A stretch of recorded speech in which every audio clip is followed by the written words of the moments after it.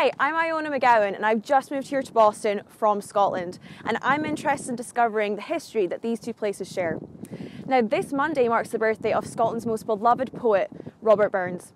His life and work are celebrated the world over on this day known as Burns Night or Burns Supper. Now although Robert Burns never actually came here to America, he had a profound impact on the emerging nation. His work included themes of republicanism, patriotism, class, gender, and poverty. He has inspired American politicians and authors like Abraham Lincoln and John Steinbeck. Burns remains an enduring cultural icon for Scots all across the world, famously known for his song Auld Lang Syne, which you might have heard on New Year's Eve.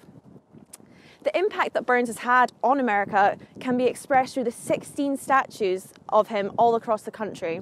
We have one here at Back Bay Fens here in Boston, and you can see him with his faithful companion, Luath. Now, to celebrate Burns Day, I thought I would recite to you one of his most favoured and romantic poems. My love is like a red, red rose. My love is like a red, red rose that's newly sprung in June. My love is like a melody that's sweetly played in tune. As fair art thou, my bonny lass, so deep in love am I, and I will love thee still, my dear, till all the seas gang dry. Till all the seas gang dry, my dear, and the rocks melt wi' the sun. And I will love thee still, my dear, while the sands o' life shall run. And fare thee well, my only love, and fare thee well a while. And I will come again, my love, to twere ten thousand mile.